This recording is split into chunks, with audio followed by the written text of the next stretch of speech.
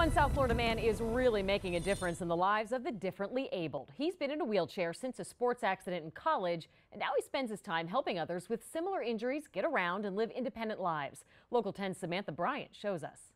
No one expects to get a spinal cord injury when you're just a regular guy in college. James Woody Beckham was a rugby star. Here's Beckham playing in college before an on field injury changed his life forever leaving him in a wheelchair. I tried to struggle on my own in, in my own time and figure out, all right, no one's here. How am I going to do this? He now works at the Center for Independent Living in Miami. When he's not at his cubicle, he's helping others through his Woody Foundation.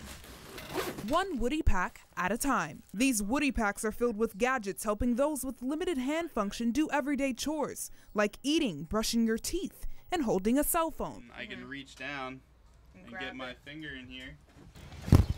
Today, he's making a special delivery. Add your side bag on, your cup holder. For Pedrito, a teen with cerebral palsy, this Woody Pack is more than just goodies. It's a lifeline. I uh, don't know what I would be doing right now if it wasn't for him. The Woody Foundation has given over 800 Woody Packs globally, and now they're even sponsoring teens like Pedrito to go to summer camps right here in South Florida. In the video port, Samantha Bryant, Local 10 News.